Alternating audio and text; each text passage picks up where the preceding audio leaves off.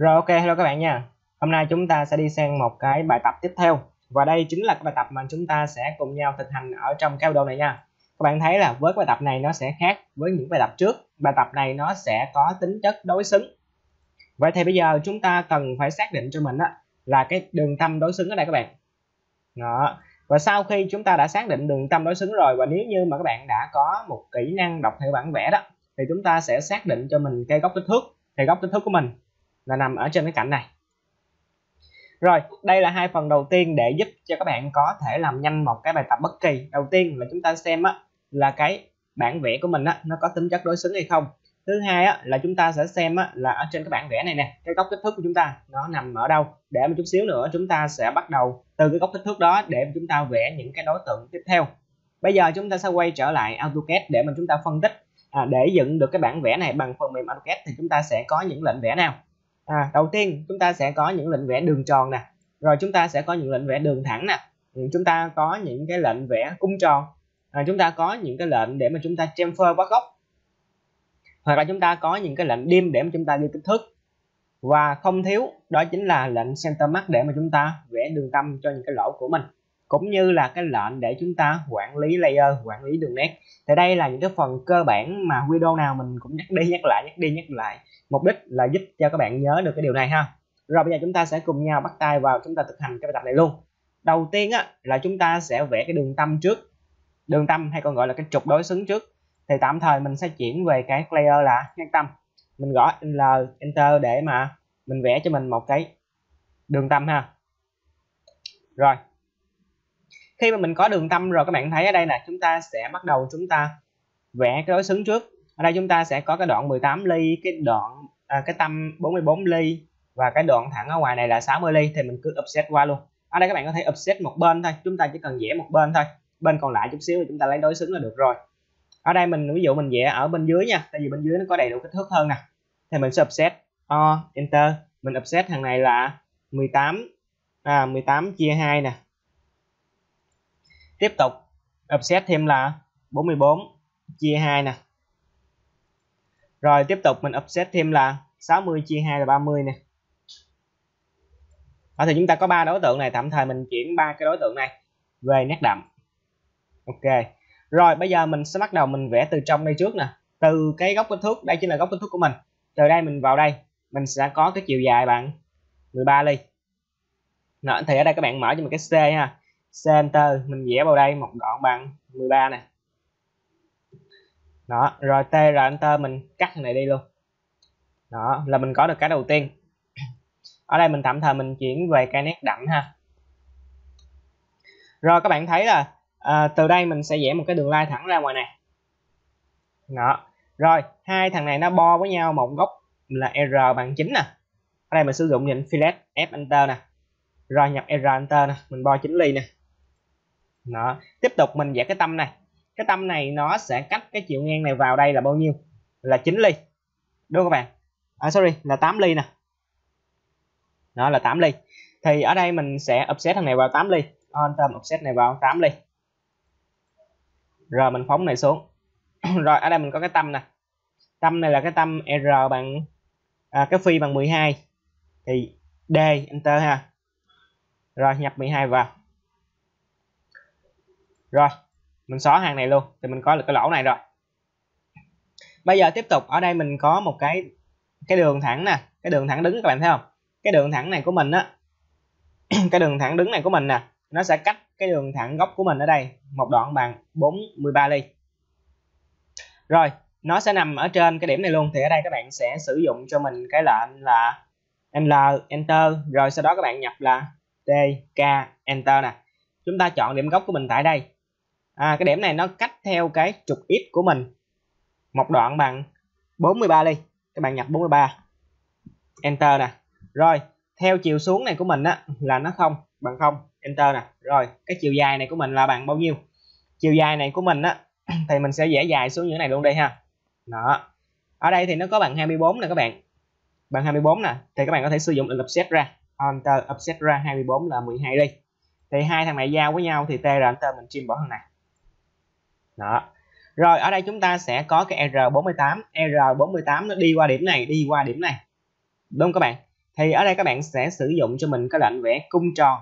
Ra lệnh vẽ cung tròn chúng ta bấm vào ạt nè.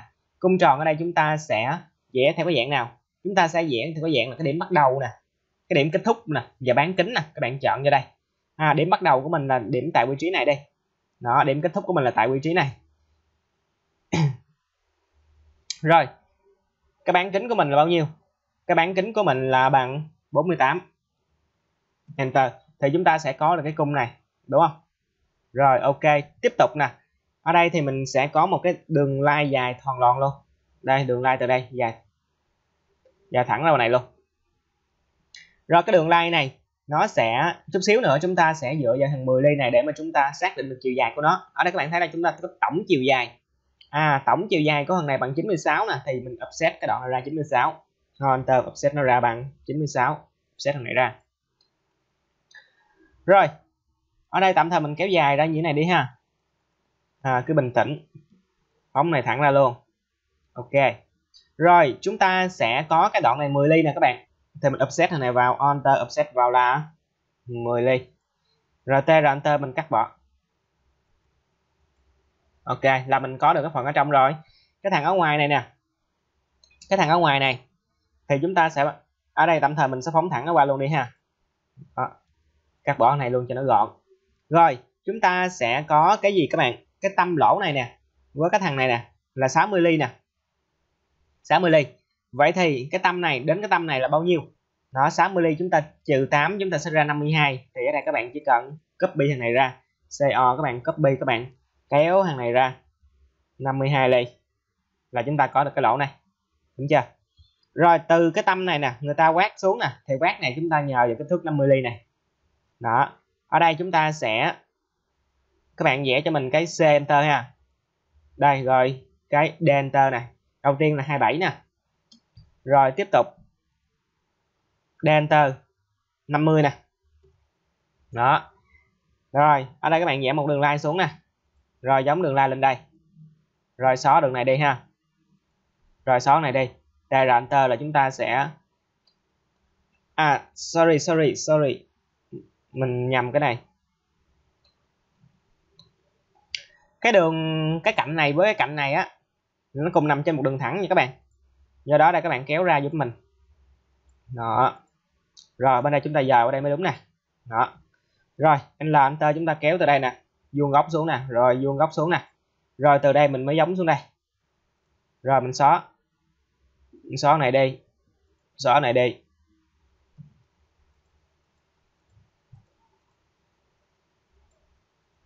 Ok, là chúng ta vẽ được một bên đây rồi. Bên còn lại các bạn chỉ cần chọn hết. Rồi các bạn dùng MI chúng ta lấy đối xứng qua này. Ok, rồi tr chúng ta cắt bỏ những hình này đi là xong. Thì đối với những cái dạng đối xứng như thế này nè các bạn thấy là chúng ta chỉ cần vẽ một bên thôi. À, bên còn lại chúng ta chỉ cần lấy đối xứng là xong.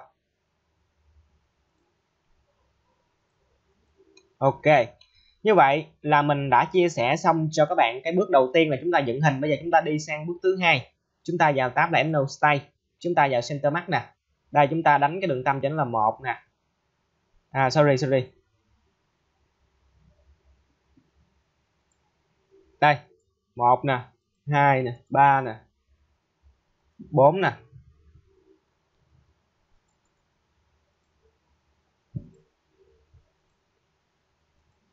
Rồi bây giờ chúng ta sẽ đi uh, ghi kích thước cho nó. Ghi kích thước thì các bạn chọn vào hôm các bạn chọn vào dimension. Ở đây đầu tiên thì chúng ta có kích thước này. Rồi tiếp tục là chúng ta có tâm.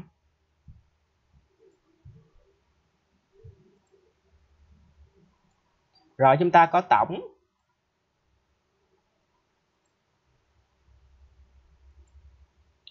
Rồi chúng ta có cái R. Rồi chúng ta có phi rồi chúng ta từ góc kích thước nè, đến tâm này bằng 8 rồi góc kích thước nè lên đây.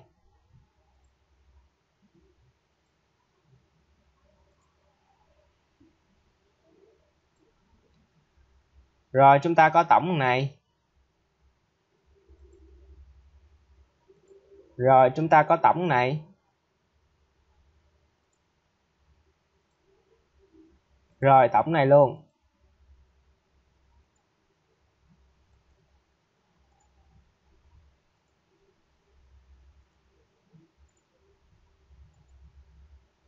Rồi, tổng chiều dài.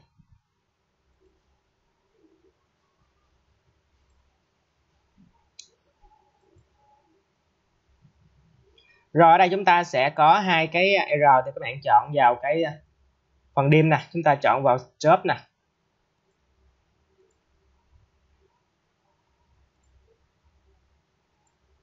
Rồi, bên đây.